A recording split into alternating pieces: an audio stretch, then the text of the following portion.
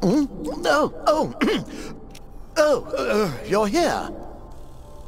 Welcome to virtual reality, or VR.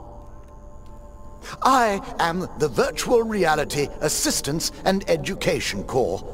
I shall be your guide for the next few minutes to show you how everything works. Let's get started. Have a look around you. The orange border in which you're standing is called the play area.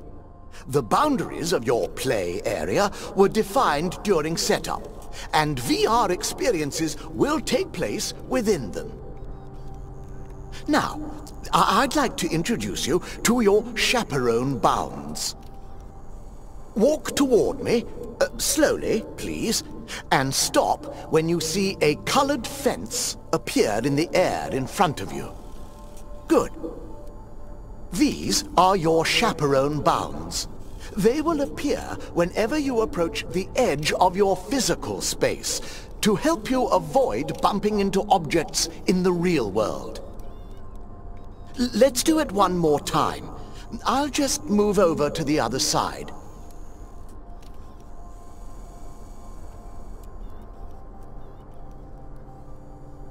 Now, walk slowly toward me on this side.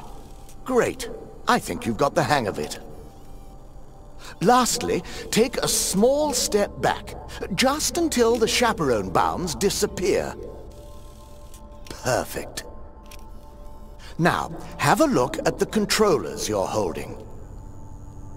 Go ahead, uh, move them around. Wave them in front of your face. They are accurately tracked to your movements. Uh, Let's go through each of the controller buttons.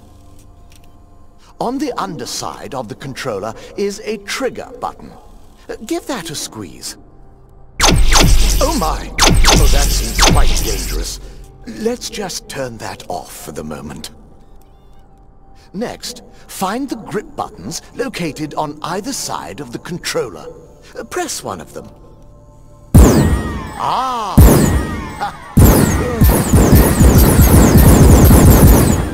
Uh, the large circle on the controller is the trackpad.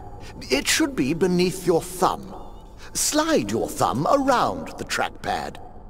Notice that it shows you where you are touching the pad. The trackpad is also a button. Press in on the trackpad now. Oh, I wonder where that was hiding. Different VR experiences can use the trackpad in a number of ways. For example, let's turn it into four buttons instead of one. There. Now, press one. Hmm. Uh, try another. Uh, One more, please.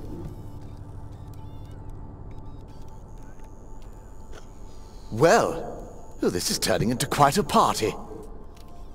Next, look at your controller and find the menu button. As you may be able to guess, many VR experiences will use this button to call up a menu. Press it now. Oh, some nice variety there. Why not try one? Well chosen.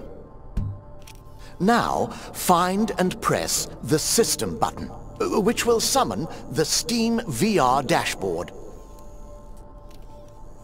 Here it is, the SteamVR dashboard.